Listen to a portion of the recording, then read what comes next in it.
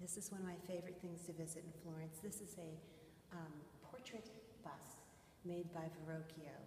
And it, like Leonardo Ginevra da Benci, is full of firsts. It is the first portrait bust done below the shoulders. In a moment, we'll show you some of the other ones around here that all stop right about here.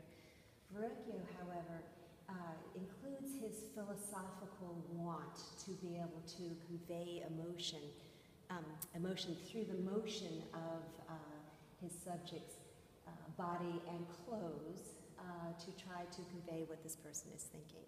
So this is the first Italian portrait bust that's below the sol- shoulders that can show movement, and it looks as if she is gathering up flowers at this point and holding them to her as if we, the viewer, have interrupted her while she's gathering flowers.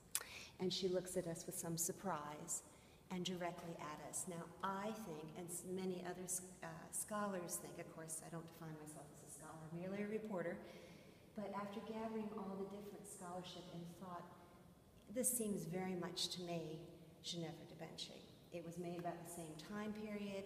Um, these flowers here um, are primroses or dog roses that were involved in the um, coat of arms and emblem that Bernardo Bembo used.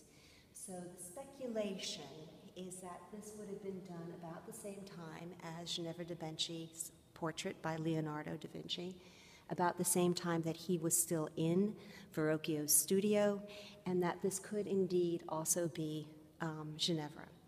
Um, I take those facts and then interpret them to create the bit of competition between Verrocchio and Leonardo over which is better, painting or sculpture. That's my imaginations of what we know as fact.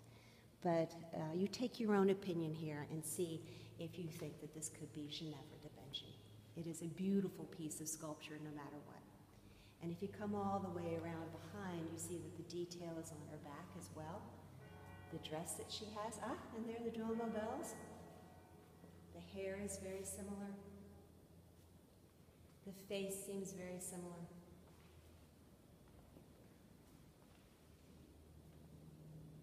Some scholars think that it might be Lucrezia Donati, um, who was the platonic love interest muse of Lorenzo de Medici.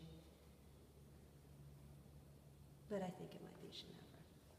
Even down to this uh, fine underdress and the chemise and the button that's there is very similar to what Ginevra has on in her portrait.